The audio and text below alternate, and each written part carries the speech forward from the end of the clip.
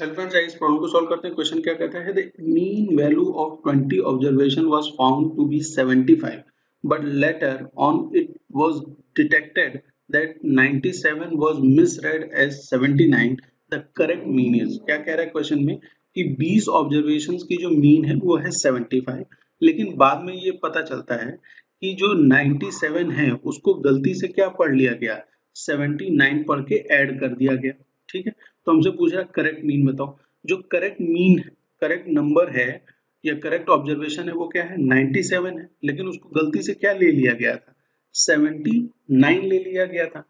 इन दोनों में कौन सा बड़ा है? 97 बड़ा है। इट मींस कि अगर हम अब जो 97 वैल्यू जो इंक्लूड करेंगे, उसकी वजह से हमारा ऑब्ज़र्व मीन जो है, क्या होने वाला है? इंक्रीज होने वाला इन दोनों का डिफरेंस कितना होने वाला है? माइनस कर लीजिए। 97 में से 79 माइनस करेंगे तो यहाँ 17 आएगा। 17 में से 9 गया तो कितना वैल्यू आई? 8 यहाँ पे कितना बचेगा? 8 बचेगा। उसमें से 7 गया तो कितना आ गया? 18 आ गया। ठीक है?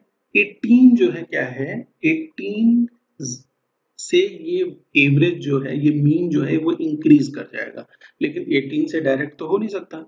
इसलिए हमें 18 का को बांटना पड़ेगा इस 20 ऑब्जर्वेशन में, वो कितना हो जाएगा? 18 by twenty that is equal to 1.8 by two means ये हो जाएगा 0.9 ठीक है?